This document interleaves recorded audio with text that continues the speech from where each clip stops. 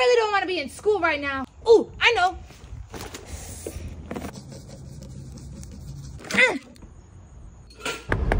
Who could that be? Oh, what is this? This is weird. A note? Hi, Mom. I'm at school and I do not like it here. Can I come home? Uh, no, sweetie. Stay in school. Stay in school.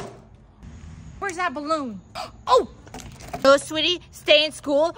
Ooh, I know. I'm gonna write her a note and I'll say it's from the teacher. Take this, Mom! Ah, now who could this be?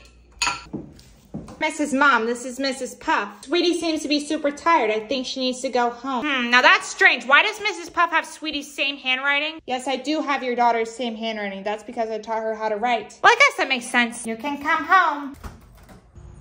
Mom needs to reply fast. there it is. Oh no, it's stuck in a tree. Dang it. Sweetie, you can come home?